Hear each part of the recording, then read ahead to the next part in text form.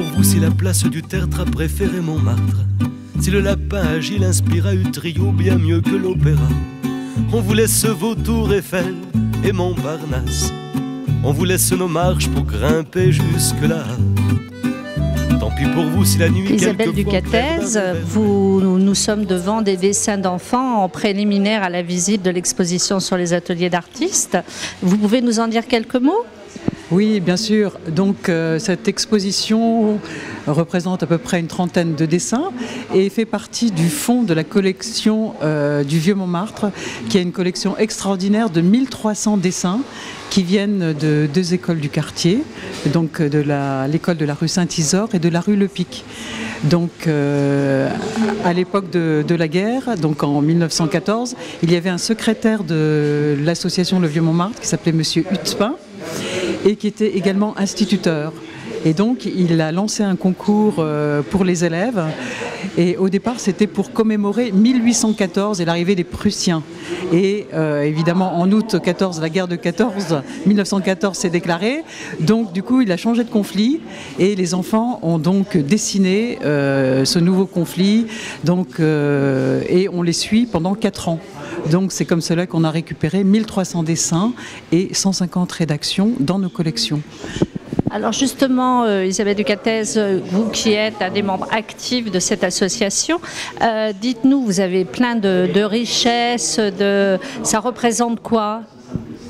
Au niveau des collections, alors le but effectivement de l'association du Vieux-Montmartre qui date de 1886 était de rassembler tous les témoignages autour de Montmartre. Donc en fait euh, ont été entre guillemets accumulés, donc soit achetés, soit euh, donnés, soit euh, légués à peu près 6000 œuvres de peintres euh, essentiellement Montmartre et nous avons à peu près 100 000 pièces de documentation qui sont euh, visibles sur rendez-vous. les chercheurs ou tous les gens passionnés peuvent venir consulter ces archives.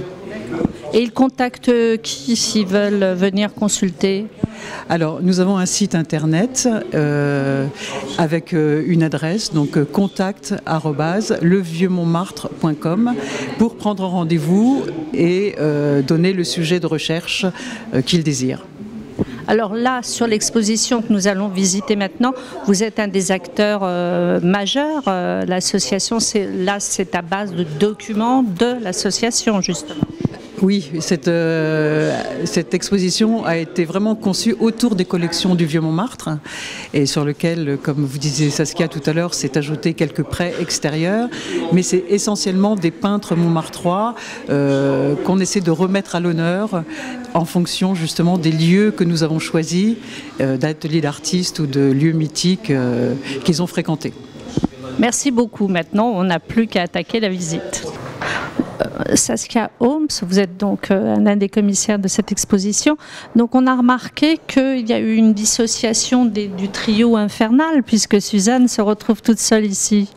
Oui, donc on a, on a créé une, une, salle pour chaque artiste. Donc on a commencé avec trio où on montre des très beaux tableaux de la période blanche, comme Abbé en ruine ou, la place Pigalle, mais aussi le portrait de Suzanne Valadon du de, dit trio, où on le voit en 1921 en tant qu'artiste euh, euh, établi, euh, avec le, la, pinceau, la palette, très bien présenté, et pour cause, parce qu'en 1919, il avait déjà exposé à la Galerie Le Poutre. Et en 1921, euh, euh, Francis Carco a publié son étude euh, critique sur le peintre. Et puis on a fait aussi une petite salle Uther où on montre aussi des, toiles, notamment le nu au baldaquin qu'il a créé dans l'atelier et aussi la vue sur les jardins du rue Cortot.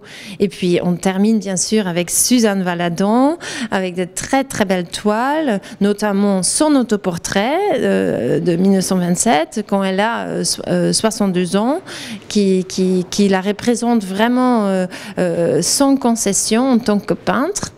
Et on a aussi une très belle toile qui s'appelle La Roue, où, on sait que Suzanne Valadon voulait être acrobate au début de sa carrière. Elle a tenté d'être, une chute d'une trapèze a terminé pour elle cette voie. Et puis, on, a, on a aussi cette très belle vue sur les jardins du 12 rue Cortot, où on voit vraiment bien euh, le jardin et la maison. D'ailleurs, on sait qu'elle a fait au moins 12 fois les jardins du 12 rue de 1917 à 1920. Donc c'était vraiment un leitmotiv pour elle. Euh, c'est ce qu'elle a beaucoup vu et donc c'est ce qu'elle a beaucoup euh, mis en image également. Alors, parmi tous ces artistes, est-ce qu'il y en a un que vous chérissez plus que les autres? Alors, il y a beaucoup d'artistes dans l'exposition. Euh, euh, je, les aime tous. Mais c'est vrai que j'aime beaucoup Suzanne Valadon. Je trouve qu'elle a vraiment une œuvre incroyable.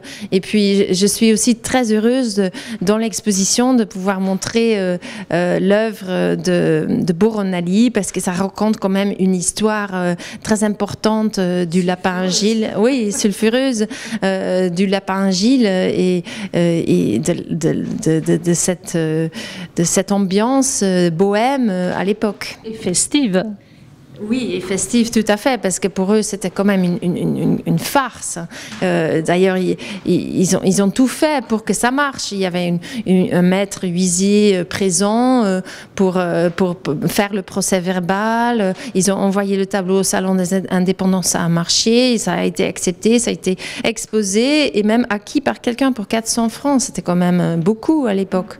Donc, du coup, c'est une farce qui a très bien marché et puis ça, fait partie de l'histoire de Montmartre. Bien sûr, et ça explique aussi le succès du lapin agile et de, de l'âne Lolo, l'éternel âne. Oui, tout à fait. Merci beaucoup. Merci à vous. Nous sommes à nouveau au musée de, de, Montmartre pour une superbe exposition et nous sommes face à une nouvelle personne qui a un rôle important ici. Bonjour, bah oui, donc j'ai pris, euh, je m'appelle Fanny de l'Épinot, j'ai pris la direction du musée de Montmartre euh, il y a un peu plus de six mois maintenant déjà. Euh, c'est une aventure dont, je me réjouis beaucoup, qui est très épanouissante. Auparavant, j'ai travaillé dix ans au musée du Quai Branly dans le pilotage de projets d'exposition temporaire. Donc ça a été une, belle histoire également, mais je suis très heureuse d'arriver au musée de Montmartre avec beaucoup de projets.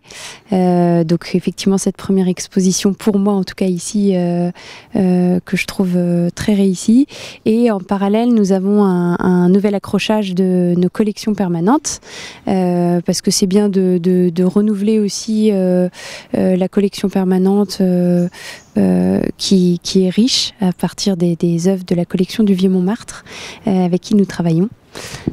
Alors, les, gens qui viennent pour euh, l'exposition, qui viennent démarrer, ont accès également au, musée et partout. Ils peuvent se promener partout. Ils ne sont pas limités à l'exposition, on est bien d'accord. Hein. Vous pouvez rappeler le prix parce que ça aussi c'est important. Alors en fait on a un, billet euh, à 12 euros euh, qui donne accès aux deux bâtiments, donc les collections permanentes, les collections temporaires, les jardins et qui donne accès aussi à un audio guide qui, est, qui est donné gratuitement, qui est compris dans le prix. Oui, en parallèle de notre euh, de l'exposition que nous inaugurons aujourd'hui, nous avons euh, nous présentons aux visiteurs un nouvel accrochage des collections à l'occasion du départ d'un certain nombre d'œuvres en prêt extérieur. Euh, un certain nombre d'œuvres partent en présentation à la Caïcha à Barcelone. Ça a été l'occasion pour nous de repenser l'accrochage des collections permanentes et de permettre aux visiteurs voilà de continuer de découvrir la riche collection euh, de, l'association du Vieux Montmartre. Eh bien, merci beaucoup pour euh, ce tour d'horizon et puis la présentation euh, de votre présentation. merci beaucoup. Bonne journée. Bonne journée. Tant pis pour vous si la place du tertre a préféré Montmartre. Si le lapin agile inspira Utrio bien mieux que l'opéra. On vous laisse Vautour Eiffel et Montparnasse. On vous laisse nos marches pour grimper jusque-là. Tant pis pour vous si la nuit, quelquefois au clair d'un réverbère, on croise Boris Vian nous dire un petit bonjour en passant. On échangerait bien si ça pouvait se faire. Un bout du Sacré-Cœur contre Ménilmontant. Tiens, tiens, un Parisien se